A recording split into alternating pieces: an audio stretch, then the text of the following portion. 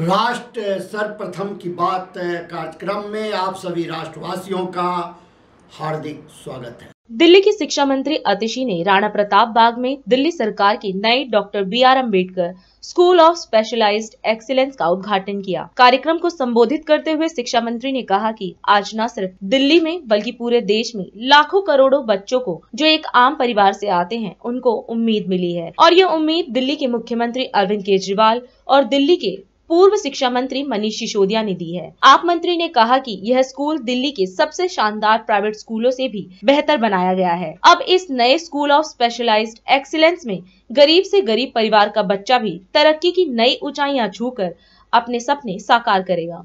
इलाके के लोग और यहाँ पर बैठे सभी बच्चों को मेरा नमस्कार। और आप सबको बहुत बहुत बधाई बहुत बहुत मुबारकबाद। आज इतने शानदार स्कूल का हम यहाँ पे उद्घाटन कर रहे हैं।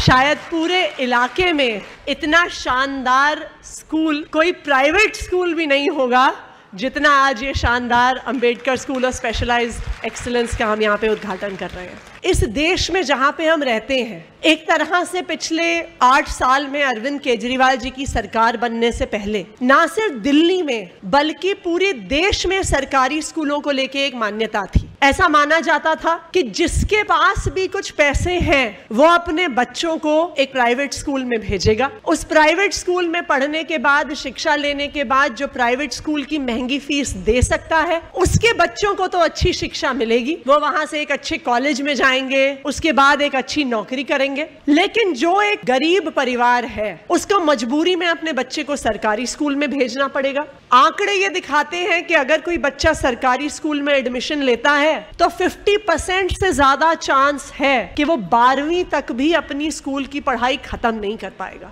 अगर पढ़ाई खत्म भी कर लेते थे बच्चे तो कोई किसी दुकान में नौकरी कर रहा है, कोई मैकेनिक के तौर पे नौकरी कर रहा है। मैं ये नहीं कहती कि मैकेनिक की नौकरी करना या दुकान में नौकरी करना किसी और नौकरी से कम है। हमें समाज में हर प्रकार के काम करने हैं। लेकिन ये नौकरी करना किसी बच्चे की मजबूरी नहीं होनी चाहिए।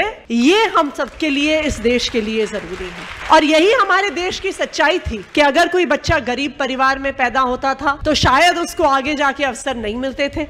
लेकिन आज, ना सिर्फ़ दिल्ली में, बल्कि पूरे देश में, लाखों करोड़ों बच्चों को, जो एक आम परिवार से आते हैं, एक गरीब परिवार से आते हैं, उनको उम्मीद मिली है कि ना सिर्फ़ हम सपने देख सकते हैं, बल्कि हमारे सपने सच भी हो सकते हैं। और ये उम्मीद दिल्ली के मुख्यमंत्री अरविंद केजरीवाल जी ने और दिल्ली के शिक्षा क्रांति के जनक मनीष सिसोदिया जी ने दी है कि आज ये गरीब परिवार का बच्चा भी सोचता है कि मैं आईआईटी में एडमिशन ले सकता हूँ, मैं मेडिकल मेडिकल कॉलेज में एडमिशन ले सकता हूँ। मैं इस देश की सबसे बड़ी बड़ी यूनिवर्सिटियों में एडमिशन ले सकता हूँ। मैं अपना बिज़नेस सेटअप कर सकता हूँ। आज इस देश का, इस शहर का एक आम बच्चा ना सिर्फ़ सपने देख सकता है, उन सपनों को साकार भी कर सकता है। ये है दिल्ली की शिक्षा क्रांति। हर साल दिल्ली के सरकारी स्कूलों से एक हज़ार से ज़्यादा बच्चे आईआईटी जेई का एग्ज़ाम क्लियर करके, नीट का एग्ज़ाम क्लियर करके देश के सबसे बड़े बड़े इंजीनियरिंग कॉलेजेस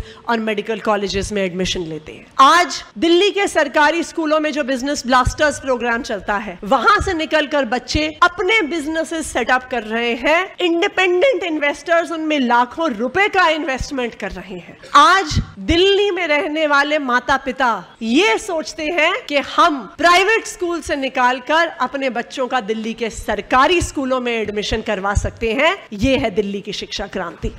और जब आप ऐसे शानदार स्कूल बिल्डिंग के अंदर जाइए तो मुझे लगता है कि स्कूल में पढ़ने वाले हर बच्चे का स्कूल में पढ़ने वाले हर बच्चे के माता पिता का, इस इलाके के सारे लोगों का कॉलर गर्व से ऊँचा हो जाएगा कि ये है दिल्ली का सरकारी स्कूल। मुझे लगता है कि इतना शानदार स्कूल जो ये है, ये दिल्ली के बड़े बड़े प्राइवेट स्कूलों को पीछे छोड़ देगा। और मुझे इस बात का भी भरोसा है कि जो बच्चे यहाँ पे doctor B R Ambedkar school of specialized excellence में पढ़ेंगे, वो ना सिर्फ़ अपने परिवार का, ना सिर्फ़ इस इलाके का, बल्कि इस देश का नाम रोशन करेंगे। मुझे इस बात का पूरा यकीन है। आज हम इस कार्यक्रम में आपसे विदा लेते हैं। आप अन खबरों के लिए बने रहे। राष्ट्र सर्वप्रथम वंदे मातरम। जाग उठा है भारत। राष्ट्र